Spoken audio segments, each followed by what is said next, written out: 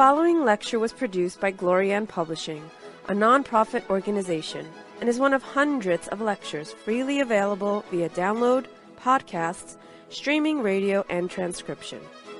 These lectures range in topic and complexity in order to address the many needs of humanity. We invite you to browse our library of lectures, books, courses, and articles to find teachings that suit you. Through the support of donations, Glorian Publishing has published 40 books, hosts international retreats several times a year, offers free online courses, and many other valuable resources, available to anyone worldwide. All of this has been made possible by the financial support of listeners like you. Your donations make it possible for this free public service to reach thousands of people every day. To make a tax deductible donation in any amount, even anonymously, visit GnosticTeachings.org. Now, with heartfelt wishes for the end of suffering for all creatures, we begin the lecture. May all beings be happy.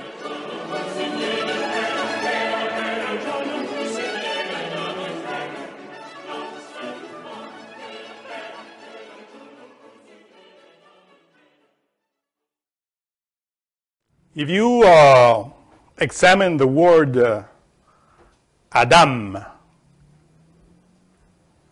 you find that the letter Aleph is the beginning of the name, and the letter Mem is the end of the name. So if we play the letter Aleph here in Keter, and the letter Mem in Yesod, which symbolizes water, then you only miss the letter Dalet of the name Adam, which is written with three letters. Which, of course, in this uh, alchemical point of view, relates the, of the mystery of Da'at, which begins with Dalet. So if you see the name, the mystery of the name of Adam is Adam A Dalet Mem. Keter, the first Aleph, Dalet in the mystery of Da'at, and Mem in the mystery of Yesod, Adam. That's why when the Kabbalists talk about Adam, they always end here in Yesod. They don't go further. When they talk about Malkut, then they refer to the feminine aspect that emerges from that Adam. But if you notice, we missed the letter Shin, which uh, has a symbol of a trident. In the name Adam, and the letter Shin, we stated, is in the center, in the very heart, which is the Sephirah Tiferet, which means beauty, and that relates to the human soul. So why is not the letter Shin within the name Adam? It is because the fire, the letter Shin, encloses the mystery of creation the mystery of evolution, development, and different steps in the Bible. For instance, in order to write fire in Hebrew, you take two letters, Aleph, which symbolizes air, and Shin, which symbolizes fire. So both letters spell fire in Hebrew. And of course, from these two letters, uh, spread the name man and woman in Hebrew. How do you uh, spell man in Hebrew? You spell it with Aleph, Yod, and Shin. In other words, you take the letter Yod of the sacred name Yod He Vav He and put it in the middle of the fire. That Yod symbolizes the phallus in alchemy. So then you find the word Ish. Sounds like fire also. But if you want to write female or woman, and then you take again the word fire, Aleph, Shin, and place the letter He at the end of the name Yod He Vav He. And then you read Isha. So, in other words, the word man and woman in the Bible relates to the fire. And in order to point the man, they point the Yod. That's why we, in many lectures, state that the Yod is the phallus. It's very clear. The fire in the Yod. And we stated also that the hay is the uterus because his, the word fire relates to the hay, Isha, the uterus, of the second name, Yod He Vav He. That's why we said that the name, the second name of God, the Tetragrammaton, is Yod, phallus, Hey, uterus, Vav, men, Hey, woman. Of course, the Shin is a mystery. That's why you find that this uh, mysterious letter is, has the shape of a trident, of the, of the very top of the head of the trident. and uh, the gods that have control in the waters always use the trident. And uh, for instance, in, the, in Greek mythology, you find that Neptune, Poseidon, which rules the pineal gland, within which we find the atom of the Holy Spirit, controls the sexual waters with the power of the trident in his hand. If we go into the Hindu pantheon, we find the god Shiva, which represents the Holy Spirit also. Holding the trident means the fire.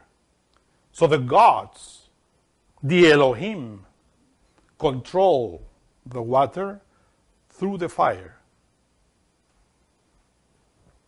And this is very significant because the whole mystery of division of sexes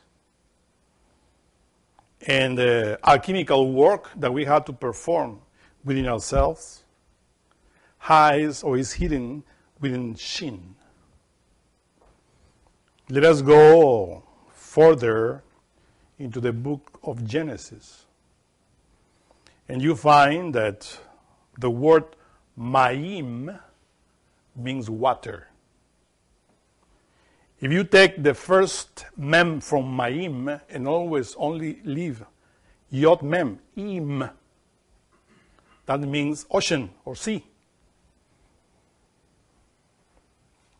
So, relates, of course, to the waters, to the hydro, we will say, in Greek terms. So, the word for heaven, or what we find in Genesis, when it is stated that in the beginning God created the heaven and the earth, the word heaven begins with the letter Shin, which means fire.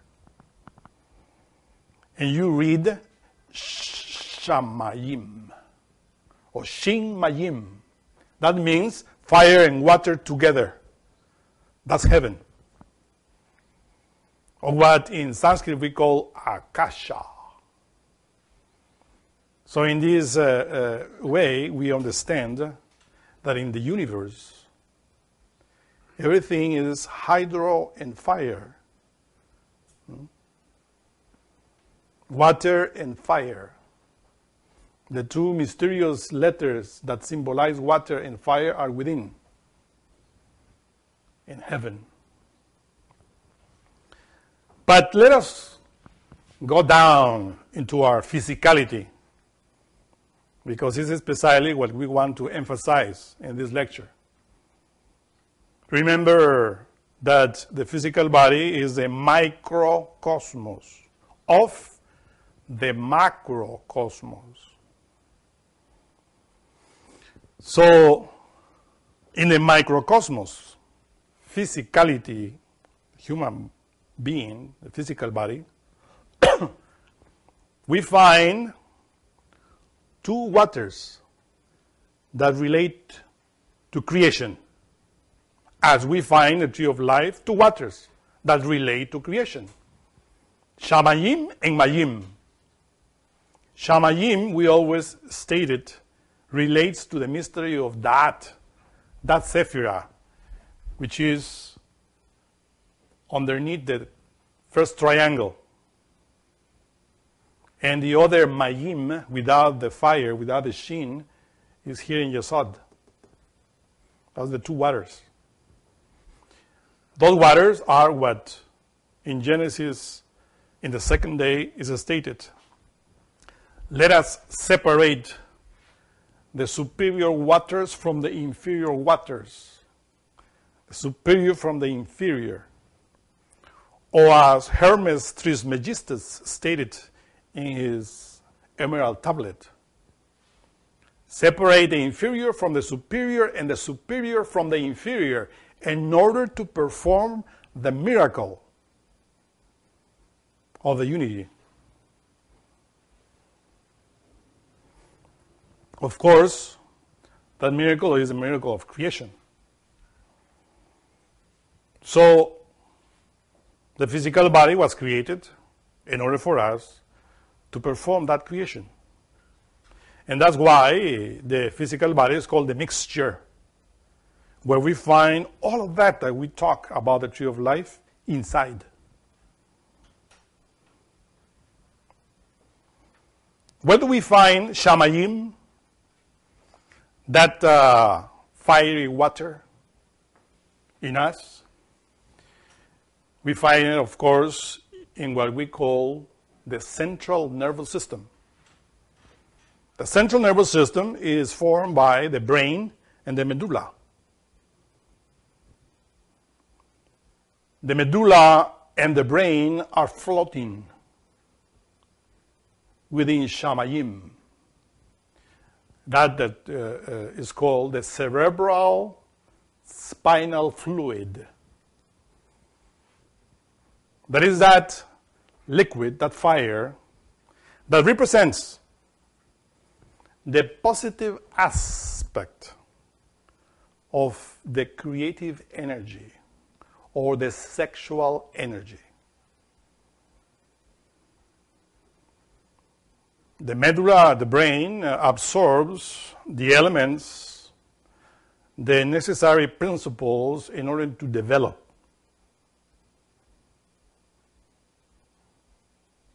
when floating in that liquid. But exists also the passive liquid, or what we call mayim, and that we always refer to yesod. And then we always state that is related with the sexual genitalia. Of course, in the male organism, that uh, fluid is called semen. But also we call in the female organism the fluid of the uterus and that are created by other glands in the female organism, we also call it semen. Of course, there's a difference between the semen of the female organism and the semen of the masculine organism. As you know, the ovaries create the ovum that flow into the uterus in order to be fecundated. But really, Yesod, which is the feminine aspect of the creative energy, is female. It's called the woman in this uh, alchemical sense. Because the cerebral spinal fluid is male. That's why when we talk about uh, the brain and the spinal column, or the spinal medulla, we call it Adam. Hmm? That is the Adam. But the fluid of Yesod is Eve, Chava, as we said in Hebrew. So this is what we always have to state in the physical organism. Adam is the brain, and the medulla, and Chava is precisely the female creative energy. And it is easy to see if we go into the female organism, the woman itself, physically speaking. When a woman gets pregnant, immediately the fetus that develops within her womb is floating in water. That water, feminine water, contains all the ingredients, all the mixture in order to create life in this physical world. But it is obvious that it is feminine. Of course, the water that we have in potentiality in the archetypical manner is called semen in the prostate, in the male organism. So both waters are necessary in order to create life, as you know, in this uh, planet. So visualize that. And of course, the fire, which is in the cerebrum spinal fluid, is that fire, that shin of heaven, that needs the assistance of the counterpart because remember that we stated that's why Adam, or in other words, in alchemy, the man is called Ish. You find the shin there with the yod. But the woman is called Isha. Hmm? And this is easy to understand and comprehend when the Bible explains that Adam, when Eve is taken out from him, he says, and she, or she, she should be called Isha. It doesn't say she should be called Eve. It says Isha. And it says, the, the Bible says in Hebrew, because she was taken from Ish. So, in other words, the division of sexes that we find in Genesis relate to the letter Shin, relates to the fire the creative fire of creation of the letter Shin that are represented in Father, Son, and Holy Spirit. Keter, Chokhmah, Binah. Brahma, Vishnu, Shiva, and many other names related with the same Trinity, which is the, the Holy Trinity that creates, the Holy Triamazikamno, that needs to perform that creation in us. And that is precisely in our sexuality. But if you see, the sexual creative force is not only in the sexual organs, but also in that fluid that circulates in the central nervous system. In alchemy, we have to extract because the division of sexes, as we explain in other lectures, is made because we need to develop the brain. We need to develop the throat. In other words, the cerebral spinal fluid needs the assistance of the feminine fluid, which is called semen, in order to perform the miracle of creating the human being within us. Now, it's something that you have to know in Hebrew. There are many ways to say man, human. Of course, when we go directly to the way to the to the word human being, you know how you said human in Hebrew? You said enosh or enos, enosh is human. And the word enosh has the letter shin at the end, indicating that is the outcome of the fire. Enosh. Because Ish is man, Enosh is human, and Adam is also translated as human. But is more related to that human that is hidden within any man and any woman.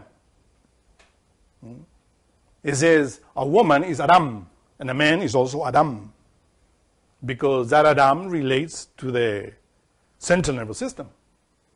As we men have a central nervous system, the woman also has a central nervous system. So that Adam is in both sexes. But the mystery of the division of sexes fall into Eve, Chava. And this is precisely what is written in the first verse of the fourth chapter of the book of Genesis. It is written, And Adam knew Eve, his wife. Hmm? Then you have to place your brain, your central nervous system, related with that, which is the mystery of alchemy. In order for us to know or to acquire knowledge, to develop the brain and all that related with the psyche, we had to know Eve. In, in other words, through that, to the mystery of alchemy, through gnosis, we had to take advantage of Eve, which is the sexual organ, which is his wife. You see that? He says, first says, and Adam knew Eve, his wife. Why had to write his wife? We know that Adam was the husband of Eve, and Eve the husband of, I mean, the wife of Adam to say his wife, that means his Isha, says there. And Adam knew Eve, his Isha. Hmm?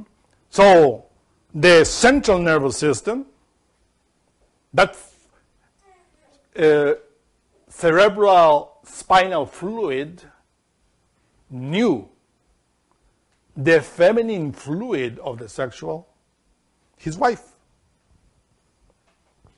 This is the two polarities of the sexual energy that you have to understand and comprehend that exists within each one of us. Adam and Eve.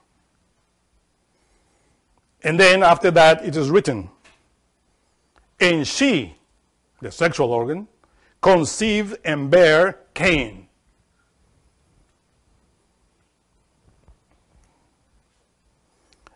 And she said, I have gotten an ish.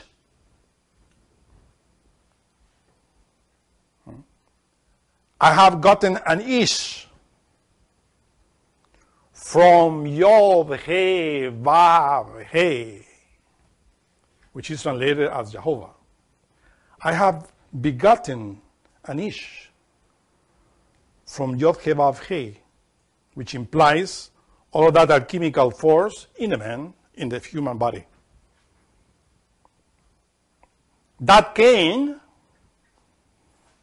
the Bible translates as C A-I-N, but the real translation should be K. A-I-N, Cain. Because Cain is written with the letter Kuf, which already in other lecture we explained. The letter Kuf, its hieroglyphic, pertains to the brain and the medulla. Relates to the brain and the medulla. You can hear you can hear the, the explanation in the letter kuf. So when we said kuf or Cain, immediately we go to the letter kuf and we understand that this name relates to the central nervous system.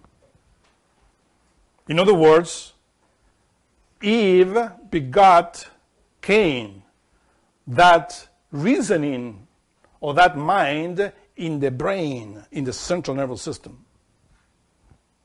That's why it is written that Cain was a tiller of the ground. That ground is a physical body. It's called Adamah in Hebrew. Adamah, which is Malkut. And if you see clearly here, the word changes from Adam into Adamah. Simple. Very simple. Adam is from Keter to Yesod, all the tree of life, all the Sephiroth. That's Adam. But if you add the letter He, which symbolizes Malkut, Keter, then you said Adamah, the female aspect. The female aspect. Hmm? So then, of course, that uh, cerebral spinal fluid related with the central nervous system is Adam that gets Cain from Eve. But that, of course, is a process of alchemy. A process, when we say a process of alchemy, we are pointing a process of sexual act. Because when we talk about alchemy, we talk about sexual alchemy. The sexual act itself is alchemy. It's a mixture of forces in order to create. Remember that I said, Cain, says the Bible, became a tiller of the ground. Keep that in mind, and let us go back in the third chapter of the book of Genesis when it is stated that when Adam and Eve ate from the forbidden fruit, Adam was kicked out of Eden in order to till the ground from which we have, he was taken. Do you see the similitude there? Adam was taken out of Eden in order to till the ground, and Cain was a tiller of the ground. It's easy to see when you understand that the central nervous system is Adam, and that Cain, that is the outcome of that, is the mind, which always operates in the brain. This is how you see it clearly. Of course, when you see uh, the central nervous system, the brain and the medulla, what do you see in relation with alchemy? Comes immediately into your mind the hammer. That hammer that uh, is placed in the hands of Thor, that uh, mythological god of the Nordics, which represents the Holy Spirit. Thor when striking his hammer on the rock, make lightnings and thunders, according to this uh, Nordic myth. But if we go into Greek mythology, we find also the Cyclops. The Cyclops, of course, are called cyclops because all they have one eye, related with the pineal gland. It is stated in that mythology that the cyclops were children of Neptune, children of Poseidon. Of course, because the cyclops reside related with the pineal gland, and Poseidon controls the pineal gland. And they are the ones that take the cerebral spinal nervous system, the central nervous system, holds all that, which is a symbol of the hammer, in order to strike it against the anvil, which is a feminine sexual organ. In any uh, alchemical laboratory, you find the hammer and the anvil. Both are of iron. In order to make the lightnings for Zeus, Jupiter, the cyclops have to hammer and do it in the anvil. When you go into the Hindu mythology, you find that mysterious symbol of the lingam yoni, which is an anvil united with the yoni, which is just the head of the hammer. If you take that head of the, of, of the linga, which is united with the yoni, and then you just leave the yoni, and then you see, find the form of the anvil of alchemy. But of course, the mystery in order to make fire is by striking the hammer against the anvil. This is how the sparks of the spirit are released in the spinal column.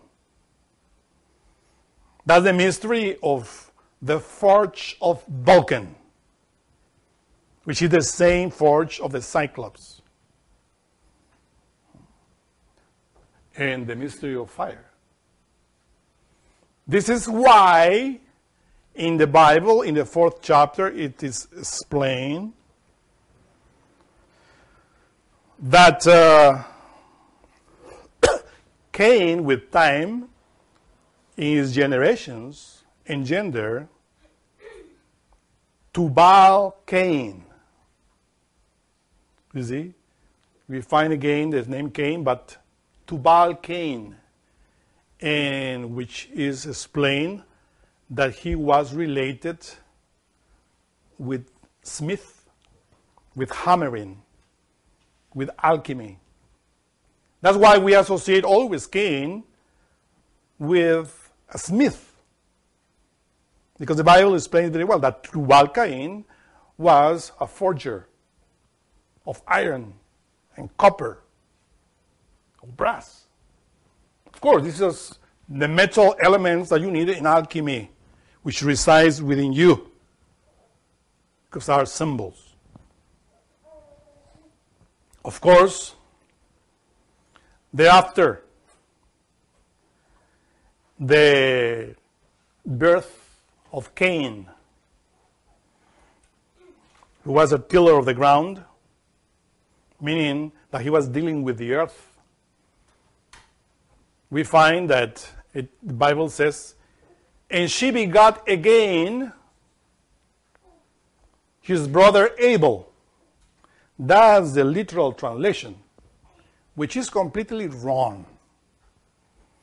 Because if we read with the eyes of alchemy, with the eyes of Kabbalah, we see very clear that says there, and she begot siblings. The meaning is that the word for siblings in Hebrew means also brother, siblings. But it's written in plural, ending with nun. And she again begot siblings and Abel. This is how the translation is. Mean that she begot two females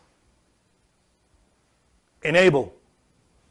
Some Kabbalist says, well, she begot one woman, enable, because that's what, what mean, the, the, the word siblings means in Hebrew. But if you translate literally, it says, and he begot his brother or his sibling, Abel. But Kabbalistically, the word that is behind siblings or brother is eth, aleph tav, eth, which in Hebrew means she. It means something female.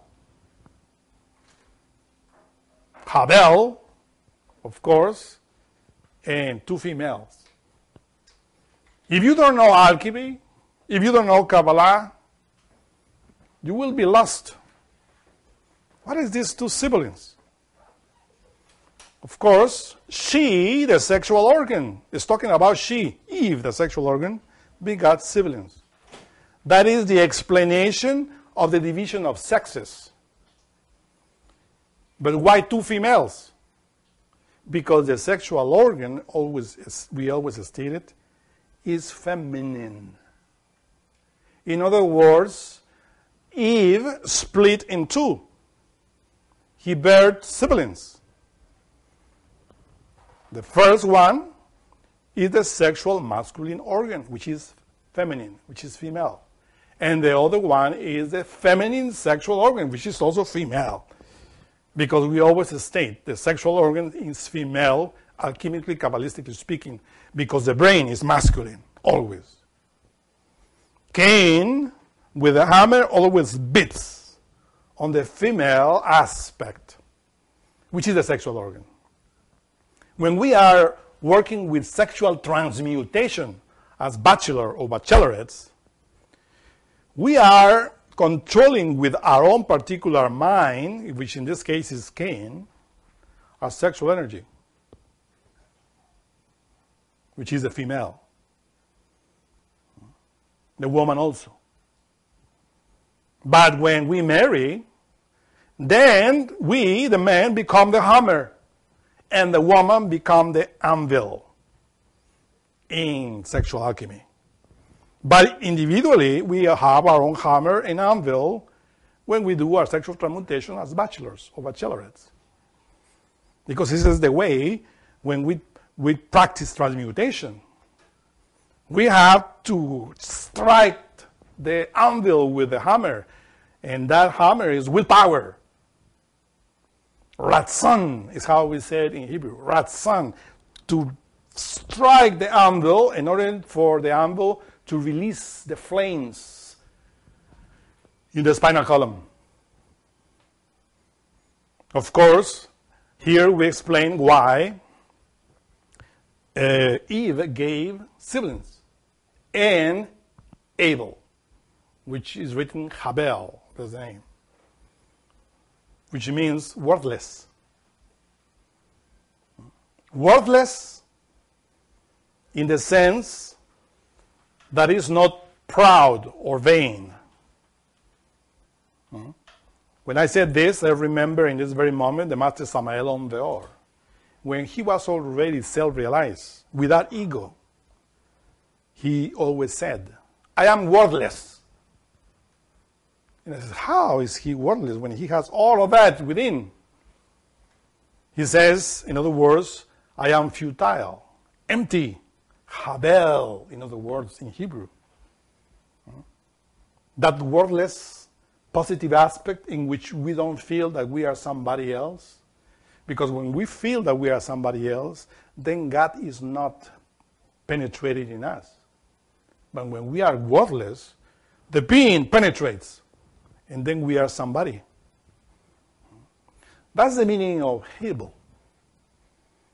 It is translated as vanity, but really is worthless or futile, how you have to understand.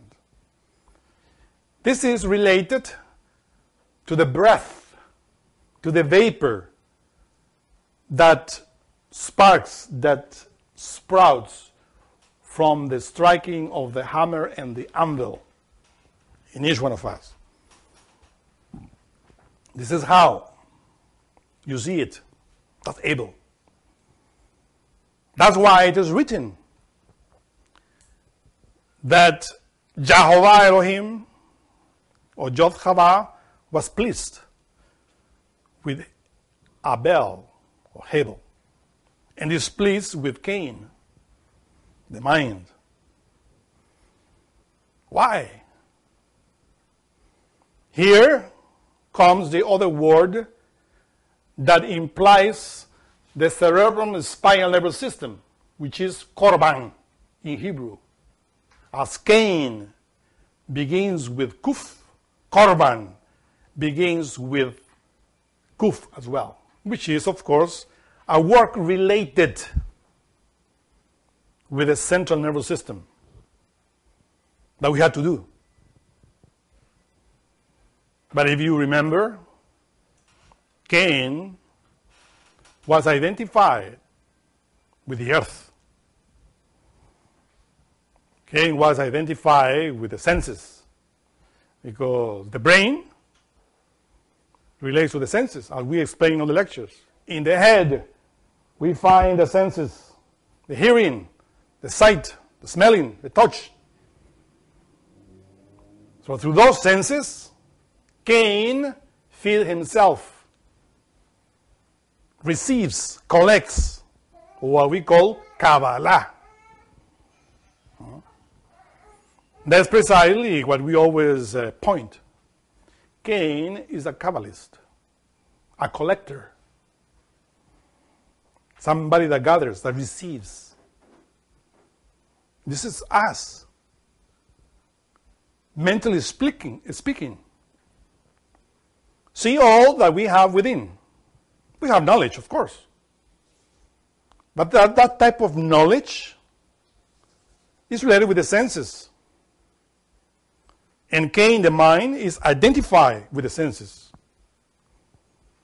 That's why when he gets, eh, in, gets to, to his inner being, or our inner being, and offer the outcome of our senses, our God is displeased. Because Cain is given the leftover of what he gathers. His korban, which is in Hebrew, his offering, is not received with good eyes. He says that his offering is from the left side, from desire.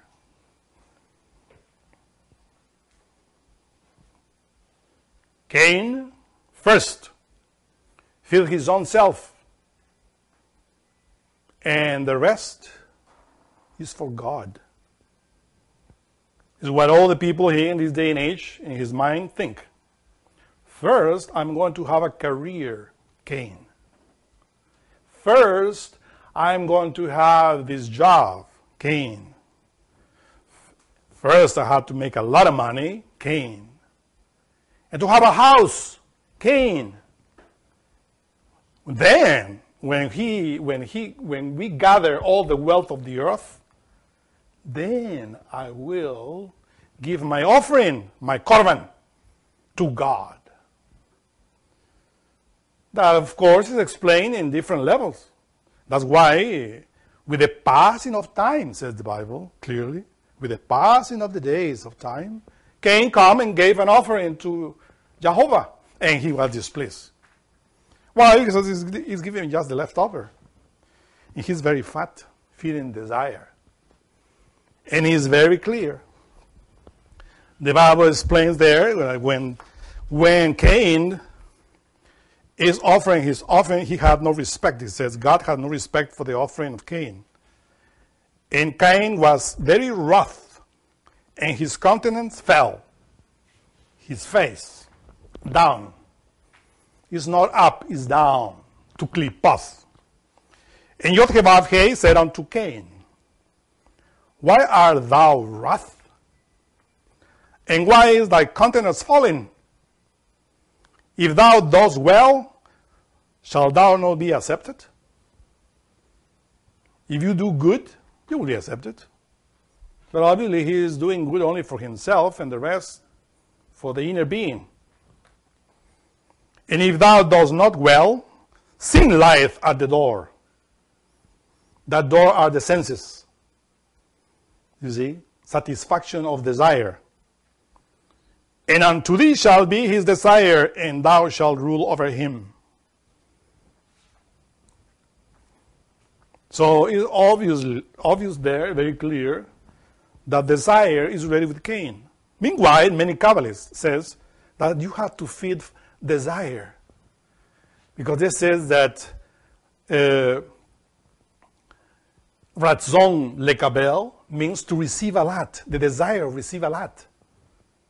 Hmm? This is what Cain was doing, feeling his desires.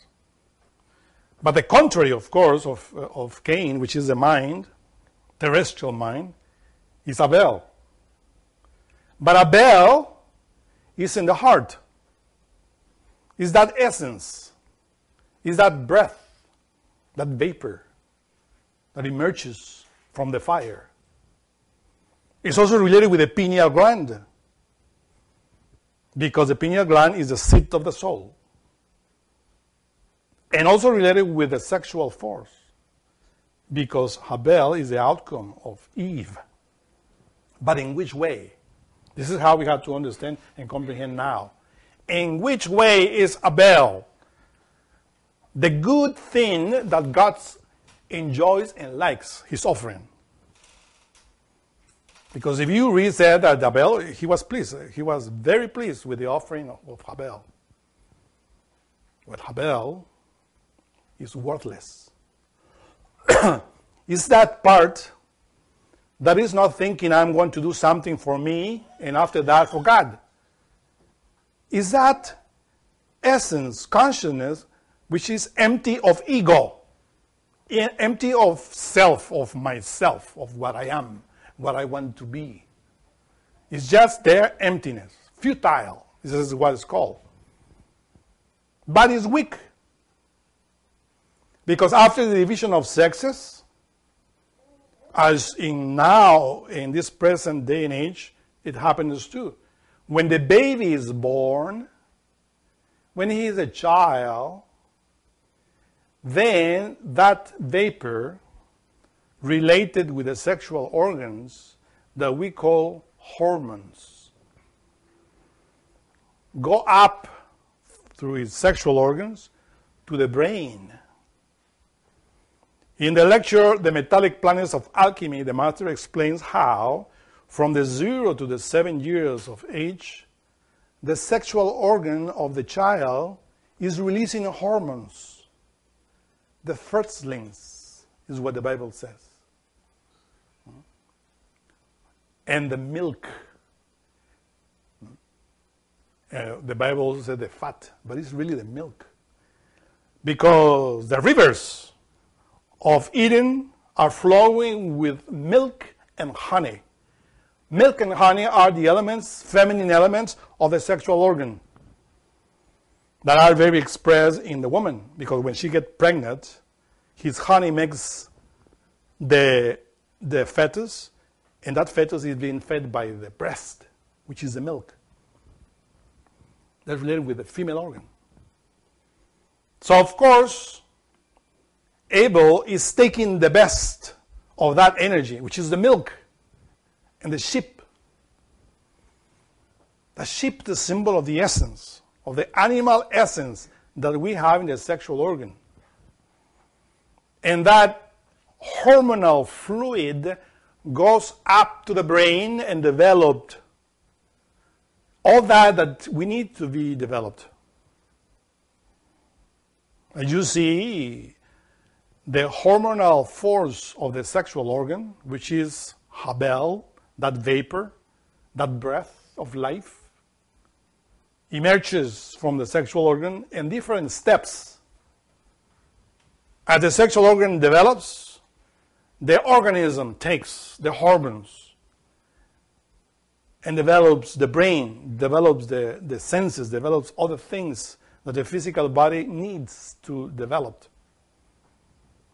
So, of course, Jehovah Elohim, which is the Holy Spirit, which is Neptune, which is Shiva in the pineal gland, is happy with Abel.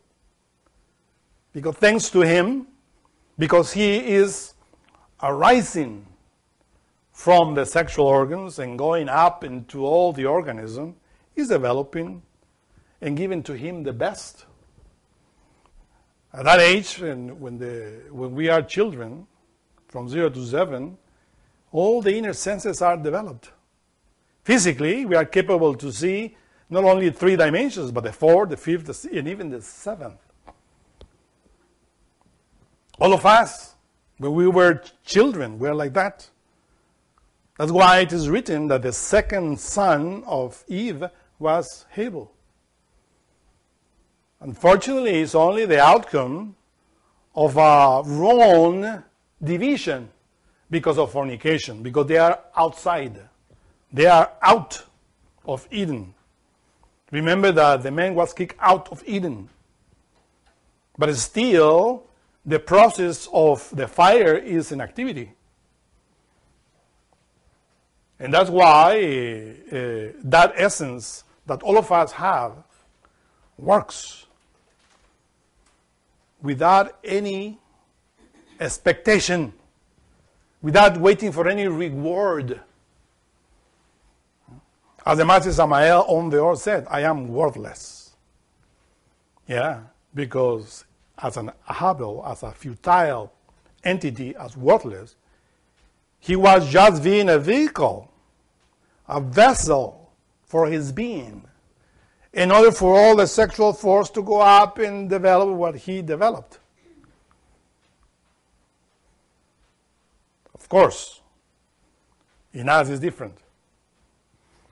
Because when we develop the personality, and then Cain becomes stronger. And all of a sudden, when we are teenagers, and sadly, in this day and age, before the teenage, they are already, I mean, Cain is already abusing the sexual energy. How did Cain kill Abel? Easy to see. By acquiring vices by satisfaction of the senses, all that hormonal force that was going to the brain, to the pineal gland, and to the spirit, all of a sudden stop. Why? Because Cain came in the field with Abel. Field which is Shada in Hebrew, implies female. In other words, Cain was jealous of the sister, of the twin sister of Abel. What is the twin sister of Abel? What is the sexual organ? There are two, we said, because we are separated in two forces, female and male. The first female sister of Abel is the masculine sexual organ. And the second sister is the vagina, the feminine sexual organ. Are the two sisters, the two divisions or the forces of sex that are the siblings of Abel.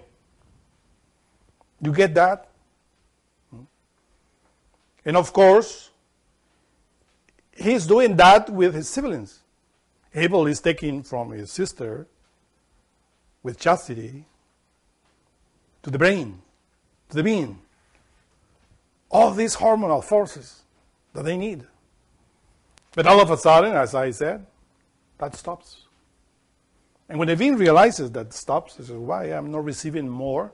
He goes down into the physicality of us and discover that Abel is no longer there. Cain took over. And Cain killed that innocence, that worthlessness, that emptiness that was innocence in the beginning. He killed him through masturbation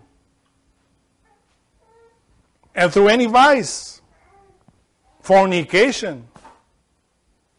Because it is written, that this tiller of the ground, Cain, which is, of course, using Adam, the head, had two wives. The Bible only mentioned that the wife was Naamah. We say always Nahema, but it's Naamah, the beauty of the physicality. This Naamah relates to the sense of touch, to that flesh. Because this is written that when Adam saw Eve, he said, This is essence of my essence, bones of my bones, and flesh of my flesh. Because the division of sexes that we're explaining here relates to the sense, to the sense of touch. Because the sexual organ is the most sensitive organ of the sense of touch. And of course, that sense, the sexual organ, gives those hormonal to Abel. But when they are in the field, when Abel and Cain are in the field, meaning in that feminine aspect, the Kabbalah says, oh, it is because Cain was jealous of Abel's sister, sexual organ. And in that field, Cain took the jaw of a donkey and killed him. When the Bible says that it was the, the jaw of a donkey or the skull of a donkey, but Kabbalistically it's stated because that skull symbolizes the power, of course, of the mind in the animal way through fornication, and he striked, you see. Instead of using the hammer of alchemy, he used that skull of the donkey and strike against the anvil where evil is and kill him. This is how we did it. This is how we do it. Cain and Abel is not from the past. Adam and Eve is not from the past, is from the present. Adam is your brain, Your sexual organ, and the division of that androgynism related with Cain and is inside of us too. Every single life we come and we strike Abel, our own essence, with our own mind, and we kill it. That's why we said the king of nature that the Bible talks about doesn't exist. Only the killer of nature, which is Cain. He says that Cain was the first killer. Yeah. And it's there, still within us, killing our own nature. Of course, our sin is unforg- unforgivable. That's why it is said that when God came and saw that Cain killed Abel, he says, Now you are going to be a vagabond, an outcast. Get out of here. But those people that recognize their sin, like us, that come and we recognize that we really are doing bad with our mind, with our sex, and then we repent and then half of that is taken. And God said, okay, you will be not an outcast, but a vagabond. Still, if you kill Cain, if Cain is killed, then you will be forgiven. And it's a process. This is a process of a chemical process that we have to do. Because the force of the fire goes down because of fornication, because of Cain. Cain, of course, is a killer that tills the ground and feeds desire. And because of the other shin, the other fire, that in Hebrew is Shatan, and that is translated as Satan. You see, the word Shatan, Satan, begins with Shin. Why? Because it's the inverted fire.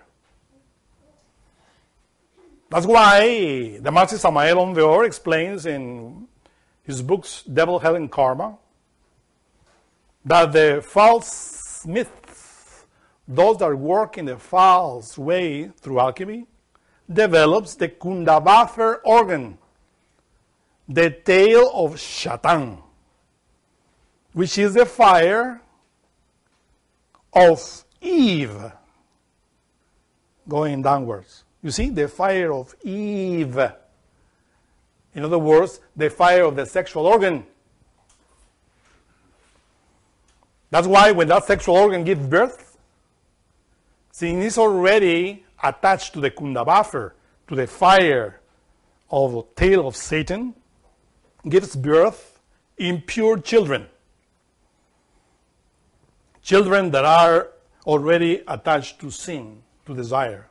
All of us. So Shaitan, of course, begins there with the fire, inverted send it to Klipoth. But when we know this mystery, we begin as Cain. Because Cain is alive. You have to admit it. The Bible says there, and he lived in the land of Nod. Nod, well, we said nodding, right? No. Negative. He lives there. He's alive. But Abel is dead, and all of us. So we have to resuscitate Abel if we want to receive forgiveness and to annihilate all that that we created related with Cain. In order for Kainan to emerge from us. You see there? The word is also written in the Bible. This Kainan was the son of Enosh. So behold the three aspects of this mysterious name Cain, Tubal Cain, and Kainan. Same, same entity, same mind. Cain is the one that does the stupidity of fornicating, masturbating.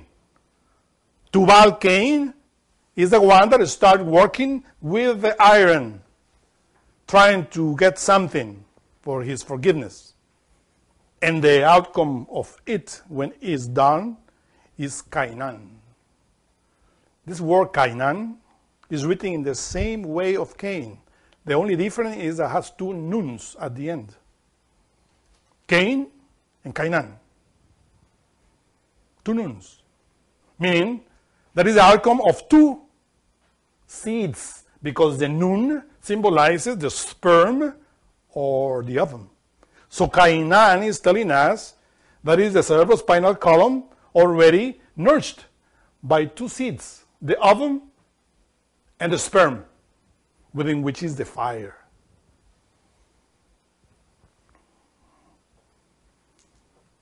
You see how everything is hidden there? Inside of us. This myth has many meanings because, Kabbalistically speaking, every single myth has seven interpretations. Seven. But according to Kabbalah, each seven has ten sephiroth. So it is 70 in the derivations, or derivatives, as we said. So what we're explaining here is in relation with Shin. Now you have to ask, because we gave many lectures about this already in different aspects.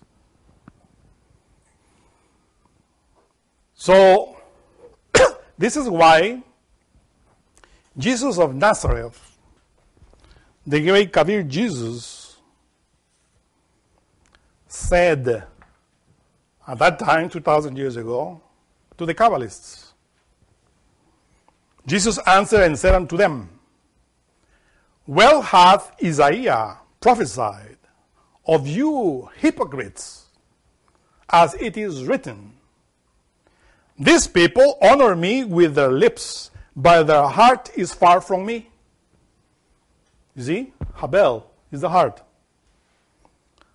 Howbeit, in vain do they worship me, teaching for doctrines the commandments of men for laying aside the commandments of God, ye hold the tradition of men, as the washing of pots and cups, and many other such like things ye do.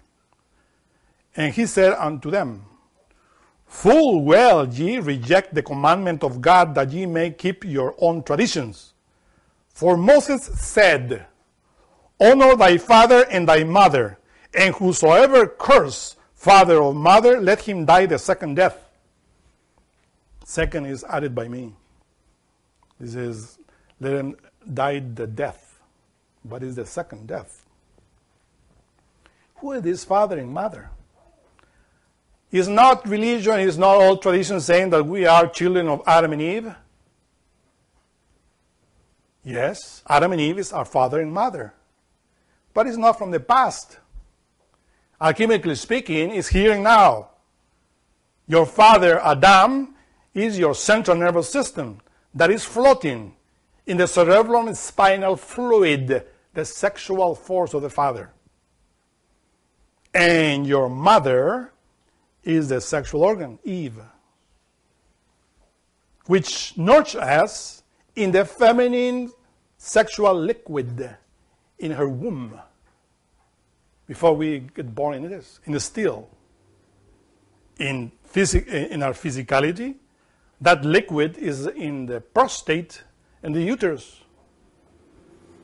So that is our mother and that's our father. Physically speaking, we are not going up in the higher sephira, only here, in this physicality.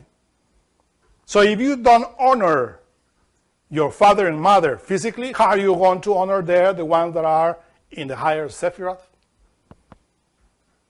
To honor father and mother is korban. Kuf, behold there, the letter kuf related with the spinal central nervous system. That's korban, an offering. Cain was given an offering, and also Abel was given an offering. When you are a child, the transmutation or the sublimation of those hormonal forces from the sexual organ to the brain and to all the endocrinal system is something as an offering. And when we start transmuting the sexual force and releasing the steam, the breath, which is habel in Hebrew, then God is pleased. But Cain doesn't do that. Cain likes to fornicate. So that's why it says, Moses says, honor father and mother. That begins from the physical body. That means that we have to study the cerebral and spinal fluid and the sexual fluid in the prostate and the uterus in order to know how to honor father and mother. Honor is always related with chastity.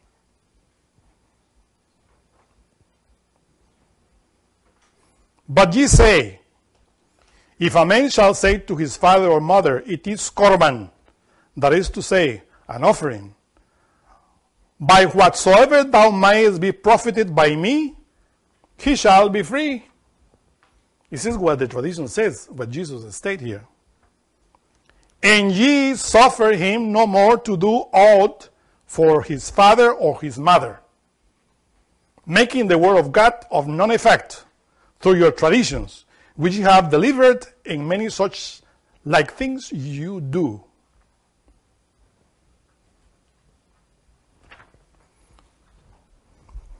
So this is why Jesus was stating that, you know.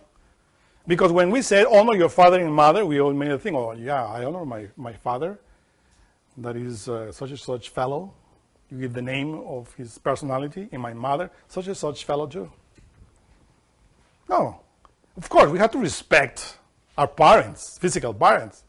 But the commandment is related with those forces that we have to honor in our system. If we don't do that, even if we follow the tradition, we are hypocrites.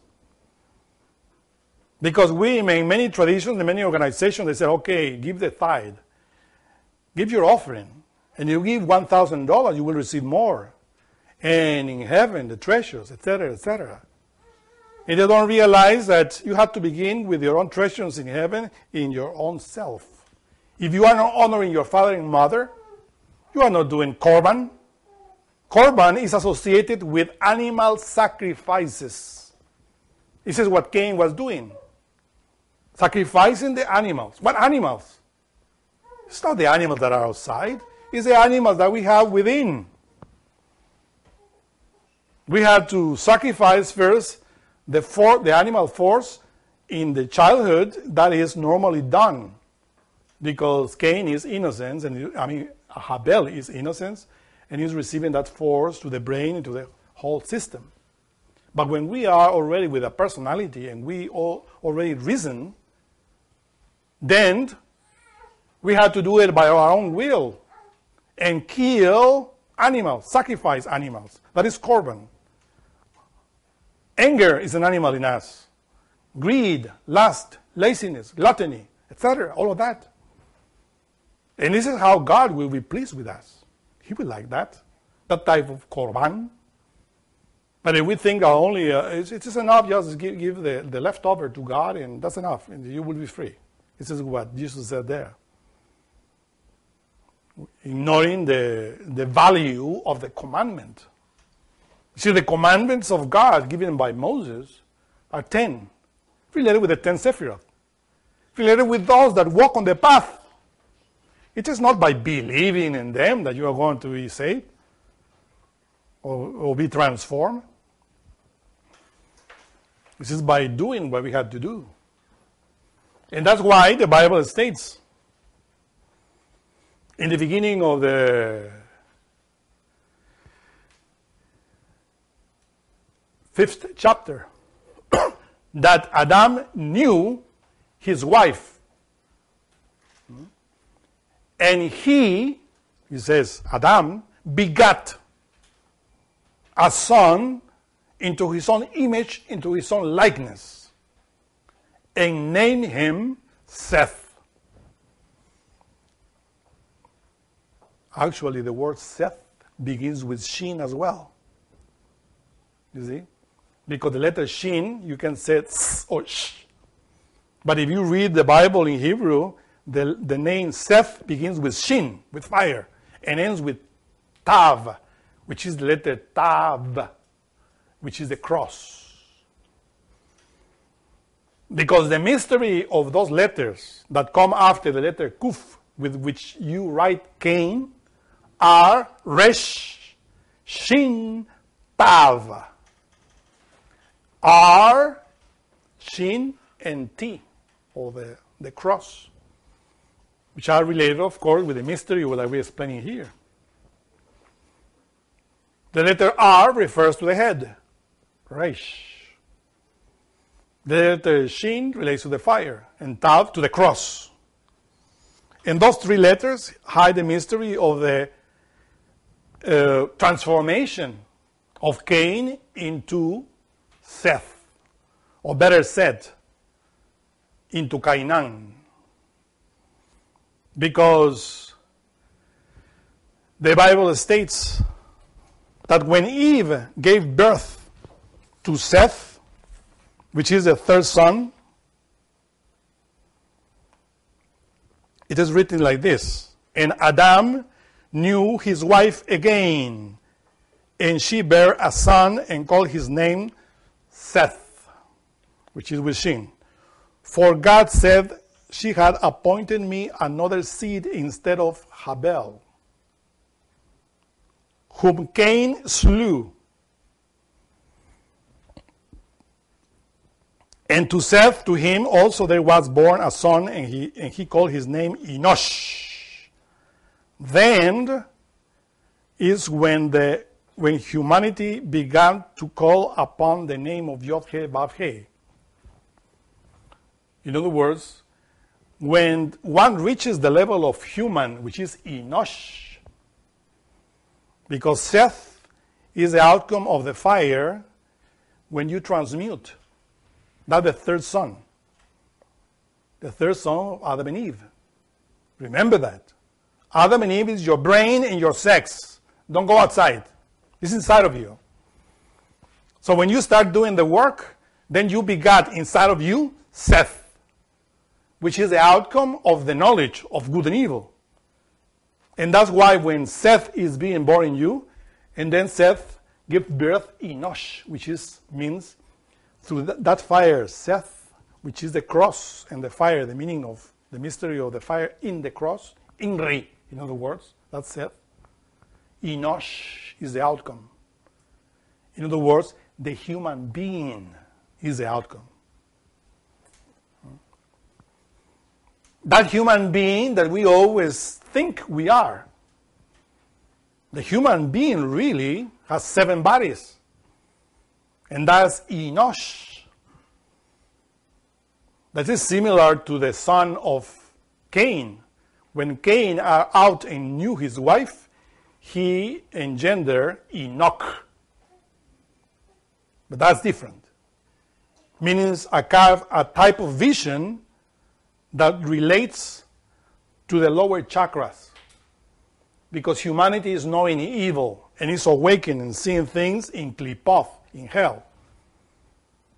But with the time when you repent and transmute and transform yourself, then Seth is being born in you. That Seth, of course, is the energy that rises in the spinal column and that gives birth to Enosh, which is also with Shin at the end. Enosh. The Shin, you see? The fire again. Shatan is already out. And Enosh is there. And then Enosh gave birth Kainan, which is, of course, the outcome of all the things that we talk here. We had to become Kainan, the son of Enosh, in order for us to say, okay, I know now good and evil. Hmm? That's Kainan. But now, we are only Cain. And we're starting the, to do the work, that chemical work. Do you get that? It is important that in order to comprehend, because all of these archetypes that you find in the Bible relates to alchemy and Kabbalah. Are not things from the past, for from the present. It's a guidance in order for you to know how to work. And we need, of course, to reach that level in order to receive the grace of God. Because only Enosh can receive the grace of God, meaning that gift that you call Jesus Christ, which is an archetype that you have to incarnate. But first, you have to reach the level of Enosh. Before that, you cannot incarnate it. Because you have to build the vessels that will take that within you in order for you to receive the grace, which is that salvation that is hidden in the word in the name of Yeshua. And behold here also that the name Yeshua, which is translated as Jesus in Hebrew, has the letter Shin in the middle. That's the other aspect. In order for you to receive that shin in the middle of Yod He Vav He, because when you put the shin in the middle of the word Yod He Vav He, you read Yeshua. That's the Messiah that enters into you when you read the level of Enosh. Then you can said, we are not saved or the, to keep this work is going to be done by grace. Because the lord the christ which is fire will help you to annihilate that animality that is impossible to you to annihilate and to deal with your karma with your debt that you have because all of the evil deeds that you did in the past and that fire within you then do the work. And thus receive the grace of God. But you have to reach that level. It's not like many people think, oh, just because it is written, because Paul of Tarsus talk about that, that we are continue working not by, by deeds, but by faith. Because the initiations end with Enosh. The rest is just annihilation that is performed at the Holy Denying. And that Holy Denying is precisely Habel, united with the fire. That Habel is the human soul which already denies himself completely, worthless, I am nothing. But the Lord is eliminating all of that. That is something. In order to make Habel empty again, in order for the God to enter into the human being to appear.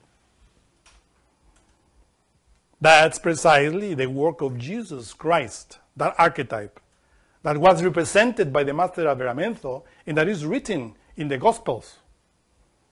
But the people thought and they took that in the wrong way, thinking that we are going to receive that archetype right now just by believing in Him, or just by reading or memorizing what is written in the Gospels or in the letters of Paul. That's wrong. We need to do a lot of work because faith without work is dead. And when we reach that level, then comes the other aspect of the development of the initiation. Do you have questions?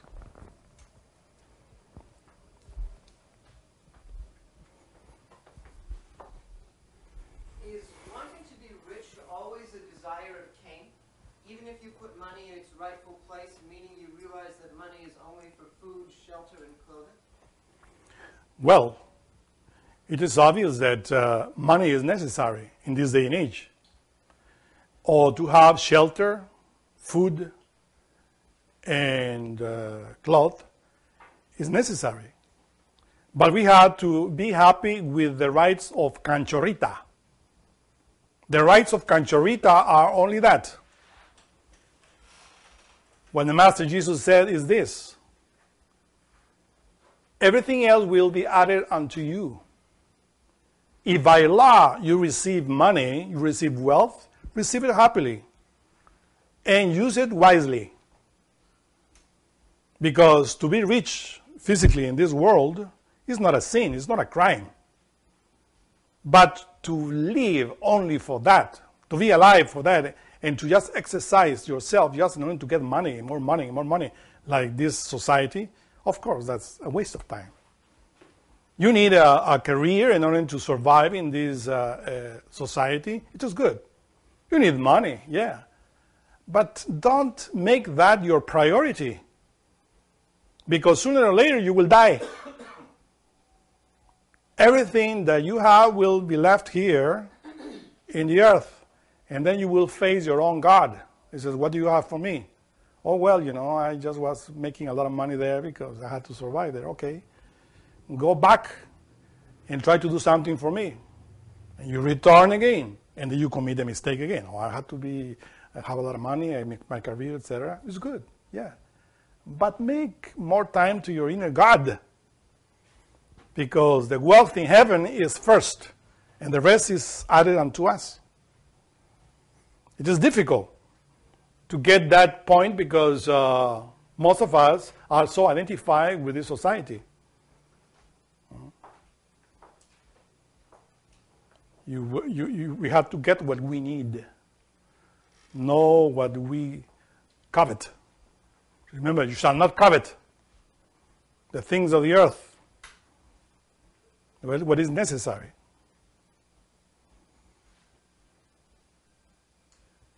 Um, since you said you know, we, are not supposed to covet anything from the earth, um, will it be against nature or will it be against um, the will of your inner being to covet the things of heaven? If we covet the things of heaven, of course, that's also wrong we, don't, we shouldn't covet the things from the earth, neither the things from heaven. But in the beginning, when we start doing this work, we start with Cain because he is alive, right? And Abel is dead. That's the point. So we start like that. Cain is alive, Abel is dead. What we have to do? To resuscitate Abel. And for that, we need to work with the holy denying to take out all those egos until Abel is growing, growing, growing, growing in us and developing. Hmm? And remember that Abel is worthless, futile, emptiness. Meaning that what you're doing is work for God. But in the beginning, of course, you will find egos related with Cain that covet, even spiritual things. And that's precisely the problem of many meditators. When you sit down and try to meditate and to experience something related with God, you don't do it because you are coveting that. Is Cain there meditating? You know, you have to feel empty, not to covet anything, because the truth comes to us without any expectation. Every experience with God comes like that without coveting it. But when we start coveting it, we don't have it. And of course, uh, that's a problem. We are 97% uh, ego, Cain, and 3% Abel. And for our disgrace is dead. We have to take it out from, from there and to put him active. Abel in the heart is intuition. Abel in the pineal gland is to remember yourself moment after moment. Here and now, that's Abel. And the transmutation is the steam, the breath that goes out is Habel as well. Sacrifice for humanity is Habel. Gives the, the, the first thing to God. But to reach that or to develop that is, of course, not easy because we, that's why we had to meditate a lot to comprehend the ego in order to release and to reach the level in which we said, I'm worthless. When God says, You are worthless, okay, I'm now in you. I want to do something through you because you are not doing anything. But if we think, Oh, yeah, I'm capable of everything, and so says God, Well, you are capable of what I'm going to be inside of you. Keep doing it. Right? That's we are, we are so proud, unfortunately.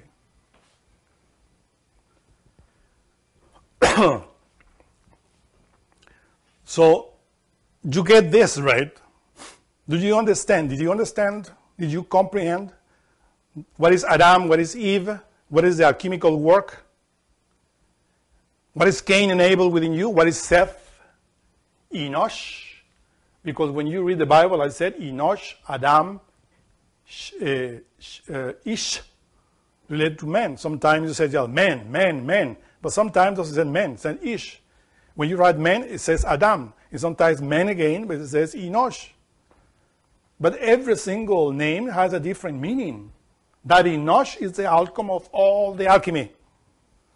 That Adam is your brain, is the part of you, positive, that has you have to work with. And the rest, of course, is the duality within you. Problem is that when you read the Bible, uh, the translations, the people that translated the Bible are not initiates, are not Kabbalists, are not alchemists. They are just translations, and they did the be- their best. And on top of that come other people trying to explain what is translated so poorly. And then when you read the Bible, there are people there that said, the whole Bible explained. And you find a big book, and every single paragraph explained according to Cain. When you read that, this is Cain explaining here the mystery. And of course, that's why uh, uh, somebody uh, suggested to me, why do you write at least the book of Genesis, Gnostically speaking? I said, what, you want me to write the Mahabharata is what you want? I said, big thing. This is not just, you see, you take one archetype and you disclose it in one, but means another thing. Seven interpretations and ten times seven. How you want to write that? At the end, you will be lost. It is better to meditate, to comprehend that in your consciousness in order not to be lost. It depends what you see. In relation with this lecture, I was studying and I see, see what you see. But there's other things hidden there. The archetypes are represented in many ways. And we have to learn that because that's the problem of this humanity. They have the Bible, but they do not understand it. And that's why there are many sects and many problems. And when you go into Kabbalah and alchemy, well, people say, well, this is a lot. What do we have to do in order to understand this? Patience. You know, this is the tree of life. That's why we have in the website many tools for you to understand, to study, and to understand that all that is in relation with you. When you associate that with you inside, then you comprehend more. Uh, if there is no other question, yes? Can you explain in more depth how the fire awakens consciousness? The fire awakens consciousness when you release it. I mean, it's the fire. It's the fire of of uh, of Hava, of Eve, the ones that put the essence into activity. For that, of course, we have to release that fire, because usually, when the, we are active, sexually speaking, and we reach the orgasm or the spasm,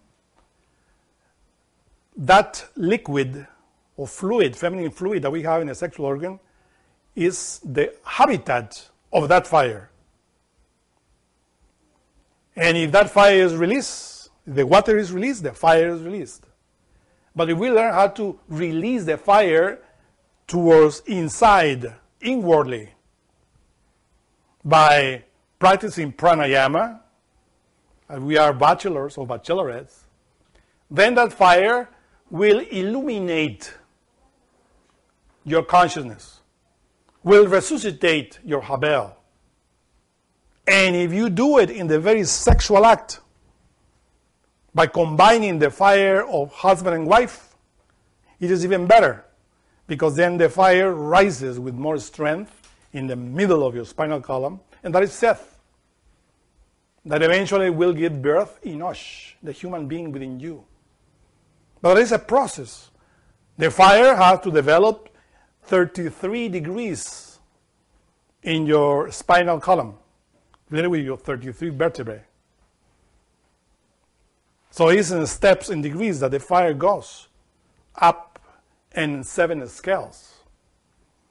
In order to comprehend how that fire uh, awakens and develops that, read the book The Three Mountains, or the Mountain Samael Aun Weor, where he synthesized there the work of the fire. Because Samael is the king of fire, and he's playing that very well. So remember, the fire that we're talking here is a sexual fire that we need to learn how to transmute the fire of your sexual organs. Because the other fire hidden within the cerebral and spinal fluid is already positive, but unfortunately polluted by Eve. So we had to clean it. That's a great work because the cerebral spinal fluid nourishes the brain, the medulla, and the uh, excess of fluid is absorbed by the blood. It nourishes the other uh, nervous systems, the grand sympathetic and the parasympathetic, which are the, we say, the helpers of the central nervous system. And by doing that is how the fire will awake the chakras, the churches. And you will find the mysteries of the book of Revelation within you, your spinal column.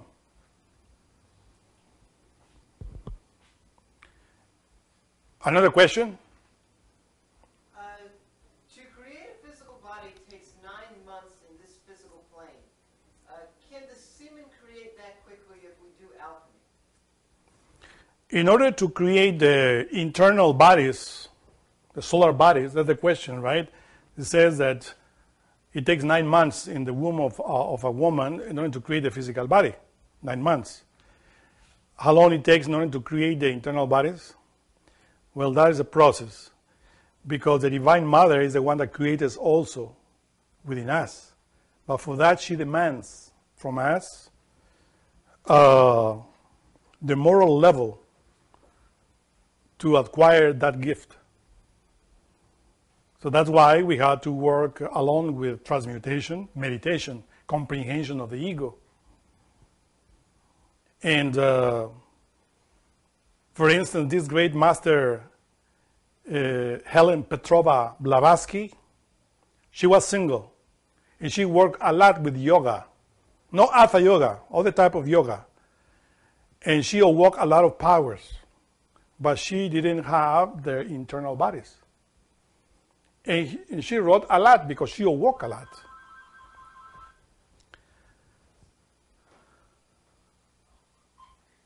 That's all right. So then, uh, in 20, uh, the Master Samael says, in 10 years, in 10 years, she built all his solar bodies. But those 10 years were based on all the work that she made and helped, and all the psychological work that he, she already did in the past. That's why it was easy in 10 years of alchemical work. But other people that are not so, uh, how you call serious, like Madame Blavatsky, that was dedicating her life to that. Well, if you are combining, as you said, like Cain, this and that, it depends. Maybe in five years of serious work in alchemy, you will work your, you will build your astral body.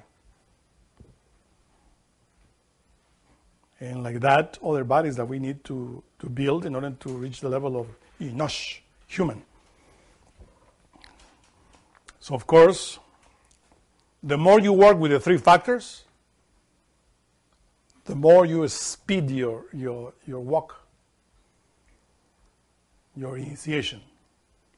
If you work with the three factors once in a while, so once in a while you will have it. If you work with the three factors every day without rest, doing what you can for humanity, meditating in your ego and transmuting your sexual energy, then you will advance very fast. So there is no time. There is only, as the Bible says, time, times, and a half of a time. That's Kabbalistically. So you have to inquire, what is that time, times, and a half of a time? That is various in each one of us for the completion of the great work. Do you have another question? Thank you very much.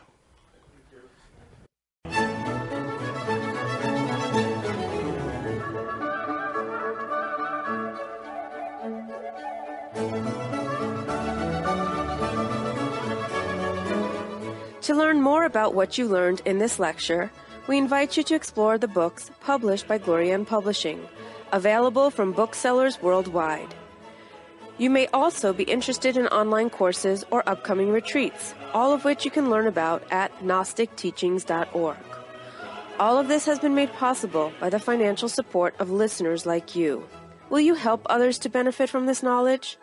Most spiritual schools recommend a donation of 10 to $20 per lecture. Every donation helps. Make a donation now at GnosticTeachings.org. Thank you. May all beings be happy.